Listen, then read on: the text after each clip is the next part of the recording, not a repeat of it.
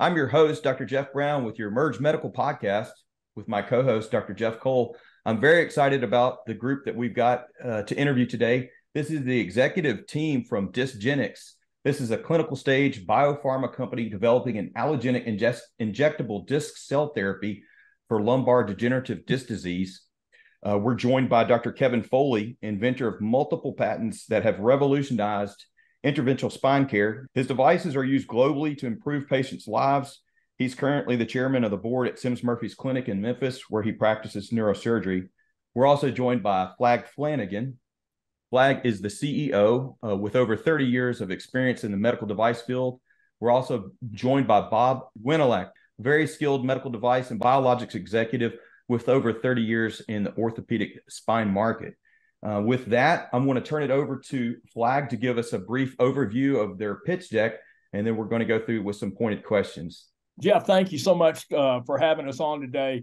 Uh, we we really are excited about where we are. Uh, as as uh, you know, DiscGenics is a clinical stage biopharma company developing allogeneic uh, injectable disc cell therapy for lumbar degenerative disc disease in the mild to moderate area we we really we believe we have a target population in this country of 2.5 million people annually that we can treat with an injection in a treatment room of this cell therapy. The cell therapy has demonstrated a regenerative capacity and potential to treat underlying pathophysiology of DDD, both disc architecture and inflammation we did we were granted an RMAT Regenerative Medicine Advanced Therapy designation recently based on this one-two data, which Dr. Foley will discuss, and a fast track designation in 2019 based on the preclinical animal studies we did using human cells. We have a scalable built for purpose allogeneic manufacturing facility based in Salt Lake City, Utah.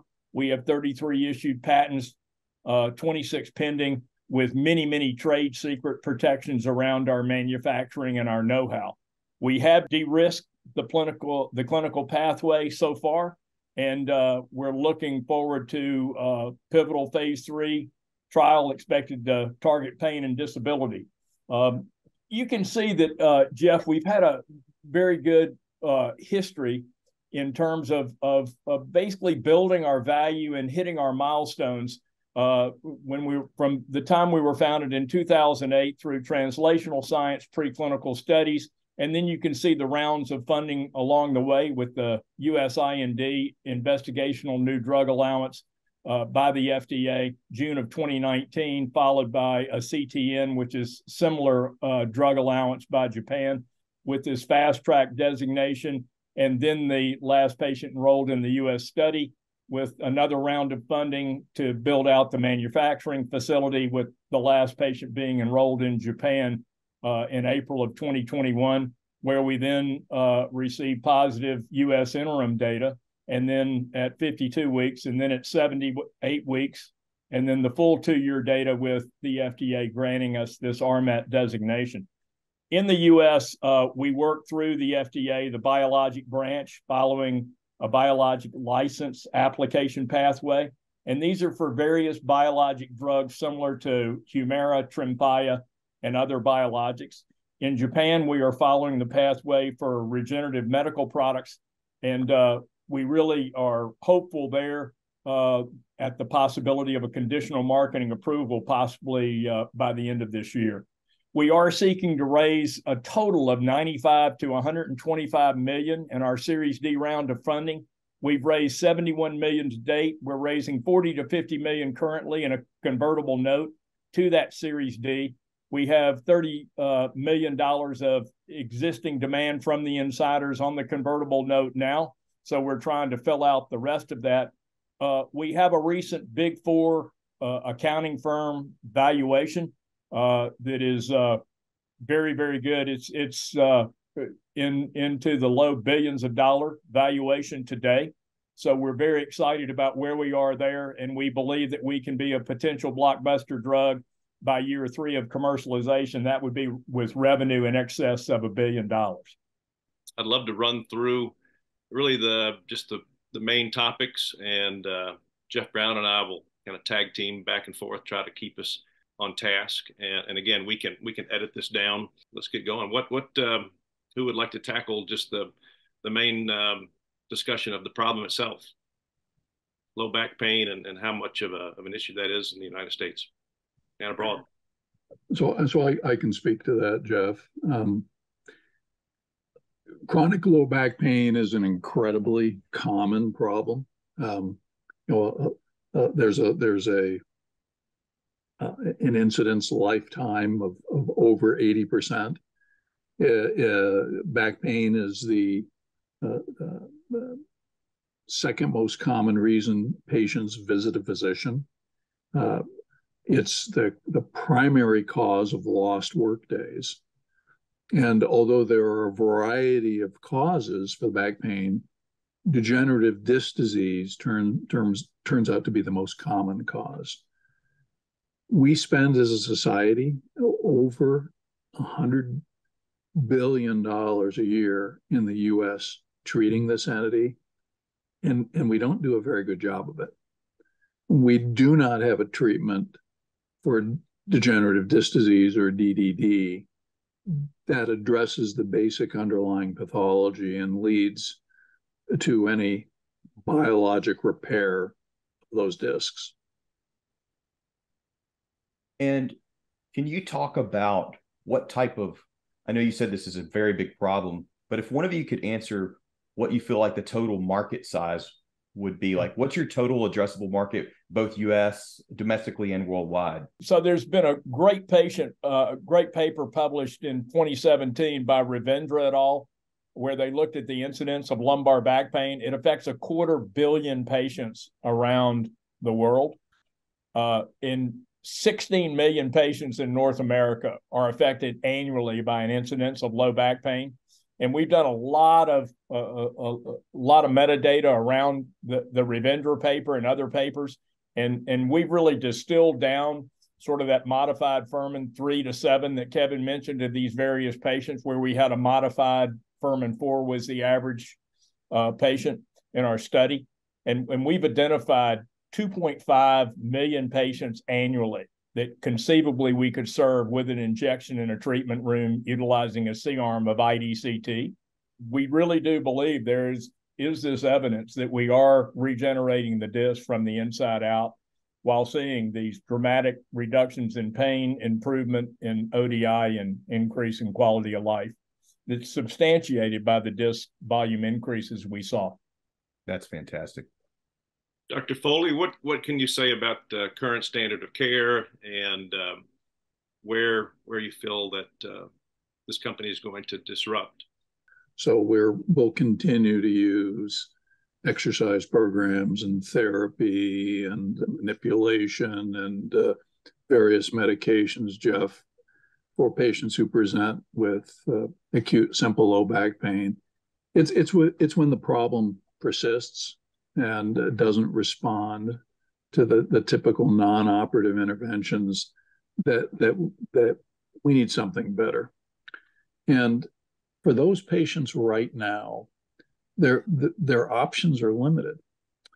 Um, they they can have a fusion, uh, which, as you know, basically involves getting rid of the disc, replacing it with bone, placing some kind of hardware in the spine, uh, to, to help that fusion heal. Um, and then we can never undo that fusion. So, for patients with degenerative disc disease, for example, I personally don't like to do fusions uh, because I'm taking away the function of their disc and putting stress on the adjacent level, right? That we know over time that a certain number of those patients are going to have issues at the levels next door be, be, because of because of that intervention.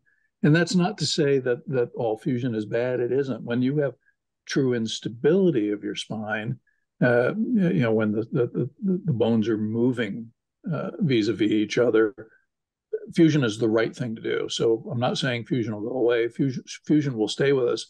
I just think that the fusions that are done for disc degeneration alone are are are going to diminish in number with with with with a treatment that can directly affect the underlying biological problem with those discs. So I, I believe that this intervention will will displace some of the the more aggressive surgeries that are done now uh, to to treat the patients who haven't responded to, to non-operative measures. I also think because of the durability we're seeing with this treatment, again, at least two-year responses to a single shot, if if not longer, I think this is going to turn out to be really, really cost effective for the whole system. Not only a good thing for patients, but a good thing for the healthcare system. Having said that, speak to your solution, and particularly uh, patents and where you are in terms of FDA clearance and the science of what DiscGenics is bringing to the market. So I'll go ahead and touch on that. So patents, um, multiple patent fa- family, 26 issued. We have around 30 in play and, and multiple fa- families. And Flagg touched on this earlier here, but you know our initial product is for the lumbar indication, but our IP covers the approach as well as the methods and then the derivatives of use for this here. And we talked earlier about how you know scalable and how these cells can be differentiated into different therapeutic outputs in here. And then we further, um, you know, expanded our IP to cover the process improvements for the commercial scale that Flagg touched on earlier in there. So we built up this tremendous, um, you know, IP portfolio. And then even if we handed someone a patent with, with all the trade secrets to make something like this as a, a GMP compliant product, you couldn't do it. There, there's so much technology and R&D that went into being able to produce this as a drug product with these types of therapeutic outputs, you know, took us years to do. So we're very proud of where we are um, with that. But once again, the, the novelty of the approach is really being able to produce a tissue specific progenitor cell from this tissue that gives it the unique properties to be able to go into the center of disc, put out extracellular matrix, and literally rebuild the disc from the inside out at the same time you know, giving out immunomodulatory signals to treat the short-term pain and inflammation going on really gives the special properties to these cells. It, it, it's very unique, uh, Jeff, from any other product that's out there in terms of the cell itself. Uh, we do have IP, existing IP out to 42. That's 2042. So we, we're in a good way. Uh, obviously, we've done, you know, almost 13 years worth of basic science, pre-clinical work uh, with 13 to 14 different animal studies along the way, which everybody else is going to have to do to follow on. Then they're going to have to do the clinical work in a phase one, phase two, and then a phase three. Um, we which which again can be another seven to ten year pathway. We've seemed to uh, advance it a little bit more here from an accelerated standpoint. We hope so. We feel like we're in a very very good position, uh, especially around the fast track and the RMAT to move forward. We we've just got to get through with the IDCT first, and uh, then then continue to grow our business to to to really help a lot of people and. And, you know that's been uh, Kevin's, Bob's, and my my mission uh, from the very beginning. And it really is about if you take care of the patient and if you're doing the right thing by the patient, everything else tends to take care of itself. How about business model and go to market strategy? It's, it's, it's exciting that uh, that you're coming out of the lab and we can, can yeah. talk about next steps. I'd love to hear. Yeah. So so the next step is is this pivotal phase three trial that we'll do and and this is a much larger patient population. We're going to look at both single and multi-level uh, opportunities to serve patients, uh, and we anticipate anticipate from a commercial standpoint that we will uh, set up a, a, pharmaceutical drug model with a direct sales force, and we will also do a lot of direct uh, to patient marketing around you know and and educating the patient with lumbar disc disease about our product and how it might work. And then we we originally or or initially want to start out uh, u- utilizing centers that that really are integrated spine centers that handle the whole episode of care. And uh, we we think that's the, one of the ways that uh, we can start this out right. So there's a very good discipline about patient selection in this modified Pfirrmann three to seven and uh, move this forward and expand it into other aspects of, of the spine, possibly around cervical, possibly around adjacent level disease. So we think we can expand, uh, you know, up and down the spine for for various uh, uh, episodes where we can interdict along the way in the spine, but we also believe that we can expand with another cell around the musculoskeletal system and then possibly other cells in the future. Do you have some preliminary revenue forecasts? Uh, we do. Uh, after commercialization, we by, we believe by year three we'll be tracking uh, revenue uh, to a billion dollars to a blockbuster status. That's a blockbuster drug is known as a drug that does a billion dollars in revenue annually. We think that the that by year three we'll we'll be ramping to that billion dollar revenue possibility uh, going forward if we if we do see and and get the labeling that we believe the phase one two data suggest in the high dose patient. You know, this this started really in earnest in 2007. So for a lot of us here, you know, it's it's been a journey, but it's been one of passion and love for for what we can do prospectively to patients, like we've been talking about. Yeah. You know, and I'll, and I'll say something else, uh, Jeff, Jeff and Jeff. You know, the and the graphs don't quite bring this out, but the amount of change in these very symptomatic patients in the trial was impressive. And one of the things I set the flag, and when we were first looking at the two-year data, is my God, these patients are doing as well as someone who has a really well done fusion and does really, really well. In other words, right. it's a darn shot, and you're seeing outcomes that are remarkable. So, you know, it's very encouraging data. We're very excited. Uh, the FDA was certainly excited in that they granted a, a regenerative medicine uh, advanced therapy designation to us. And, and they really are helping and, and they, they are very enthusiastic, but they will not hedge one iota on the rigor, which is, and that's up to us and we get it. And uh, we believe that we've uh, put together a, a very good uh, pivotal phase three plan for the FDA. And uh, we're looking forward to uh, continuing our discussions there. You know, talking with multiple founders of companies, I've learned that a red flag is when they continually talk about an exit or an exit strategy, right? Yeah. And when I talk to each of you about what you're trying to do, the overwhelming mission is to make lives better. Period. And not only is that just refreshing to hear from a clinical care or just a human perspective that ultimately becomes the the founders that drive the success.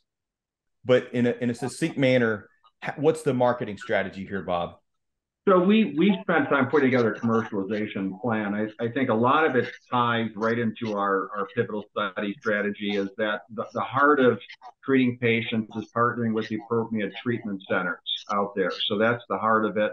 So ones that are integrated spine practices that tie in the surgical plus the interventional, where we can channel in patients where they're going to be appropriately screened, and injected per what the labeling of the product will be. This will be tied into, you know, careful selection in each market area with pharma-based advertising where we're going to, you know, create awareness for the patients and be able to channel them into the treatment centers, working closely with the payers and all the different tiers of, of, of payment uh, across the market to, you know, get this therapy approved so we can treat you know this vast universe of, of patients who are suffering from this.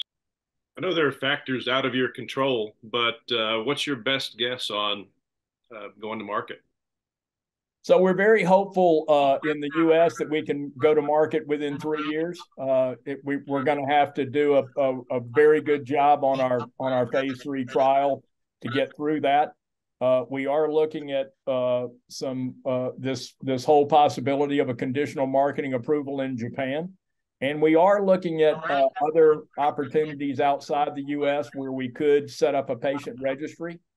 I'll summarize it for a layperson. You tell me if I've got this right, but you've got a product that decreases pain, decreases inflammation, increases disc architecture. It's non-immunogenic, so you can't have a, a allergic a, a, uh, uh, like an organ rejection type process. Yes. There's no risk of tumor growth. You've got, and this isn't a claim, this is what we think, both clinically, radiographic, and in, at least in animals, histological evidence for efficacy for a problem that affects millions of people yearly. Yeah, we, we think we have something very interesting here, Jeff. I mean, and, and, sign and, me up. And very and very useful because, as you know, there's just there's just not a good answer for these folks. It's it's a a labor of love to help. You know, it's our it's our opportunity to literally help millions of people. Kevin Kevin's already done that, being the father of minimally invasive spine fusion. I think his reach is, has has has uh, uh, reached out to that many people, and uh, I think it, it, he's going to do it again w- together with us. We're we're going to do it together uh, where we re- literally can help millions of people around the world. Kevin, thanks so much. You Rarely do you meet people with the mat the the match of humility and clinical competence and skill that you have, brother. You're just great to the world. And you, you you never cease to amaze me how humble you are despite your accomplishments. And I really thank you for your time. I hope that this broadcast will uh, bring you guys some the investors that you need to move forward and also expose the product that you're bringing to to potential users of it and uh, and help a lot of people. So thank you for joining us. I'm Jeff Brown with your Merge Medical podcast uh, and with my host, Dr. Jeff Cole. Thank you for the executive team from DiscGenics for joining us today.